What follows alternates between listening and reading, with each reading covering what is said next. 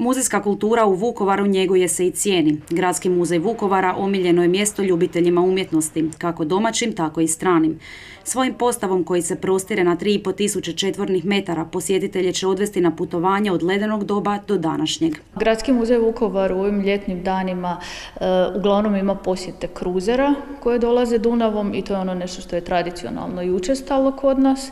Imamo posjete e, turista iz e, drugih krajeva Hrvatske, Europe pa i svijeta.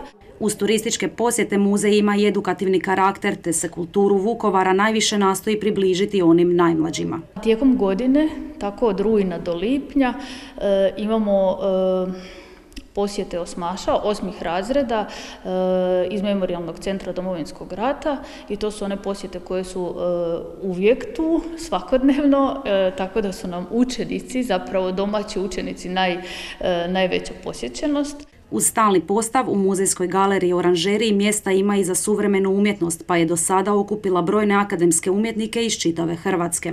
Trenutačno je aktualna izložba geometrija prožetosti slikara Gorana Kujundžića. Imamo otvorenu e, izložbu do 21. kolovoza, a 18. kolovoza e, otvaramo jednu novu izložbu e, akademskog slikara Tomislava Ostoje. Iz muzeja su istaknuli kako s nestrpljenjem iščekuju početak nove sezone koja kreće u rujnu. Od jeseni nastavljamo onako kako uvijek idemo, a to je da uključujemo našu zajednicu u, rad, e, što znači da će e, biti razna događanja, nadamo se ako to dozvoli ekonomska situacija i da će ponovno dolaziti osmaši, to jest učenici e, iz cijele Hrvatske osmih razreda, da će se nastaviti pedagoška djelatnost, da će dolaziti određeni, određene individualne posjete. Jer muzejska djelatnost važna je ne samo za Vukovarski kraj, nego i za cijelu Hrvatsku, zato što čuva veliku i vrijednu baštinu našeg naroda, zaključila je Nadovski.